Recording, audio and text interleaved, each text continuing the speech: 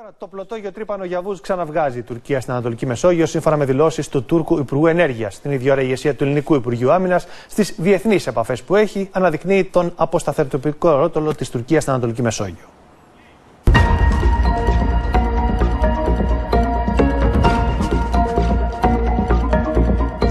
Παράγοντα αστάθειας χαρακτήρισε την Τουρκία ο αρχηγός Γεθά. uh, is a provocateur and tries to uh, uh, bring instability in the area. Νωρίτερα η Άγκυρα προειδοποιούσε για επιστροφή του Γιαβούζ. Yavuz gemisi de şu anda ikmallerini e, tamamlamak üzere. İnşallah onlar da en kısa sürede yine Doğu Akdeniz'deki çalışma programlarına dönecekler. Την τουρκική προκλητικότητα έθεσε ο Νίκος Παναγιωτόπουλος στη συνομιλία που είχε με τον Αμερικανό Υπουργό Άμυνας. Έχουν κοινές αντιλήψεις όσον αφορά την ασφάλεια και τη σταθερότητα στην περιοχή μας και στην Ανατολική Μεσόγειο και βέβαια και για την πηγή προέλευσης αυτών των πλοίων.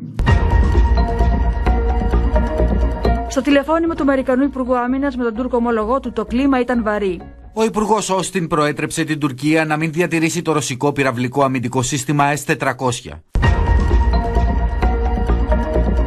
Η αναθέρμανση των σχέσεων Ελλάδα-Λιβύη σκοπός της επίσκεψης του Έλληνα Πρωθυπουργού στην Τρίπολη την ερχόμενη Τρίτη.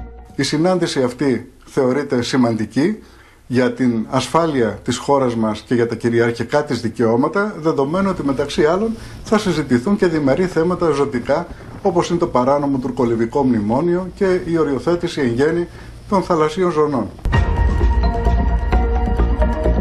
Τόσο η ΕΠΑ όσο και η Ευρωπαϊκή Ένωση ασκούν έντονες πιέσεις προς τη μεταβατική κυβέρνηση της Λιβύης προκειμένου να οδηγηθεί αυτή η χώρα σε ομαλές εκλογές στο τέλος του χρόνου, απομακρύνοντας το ταχύτερο τόσο τα ξένα στρατεύματα όσο και τους ξένους μισθοφόρους από την ευρύτερη περιοχή.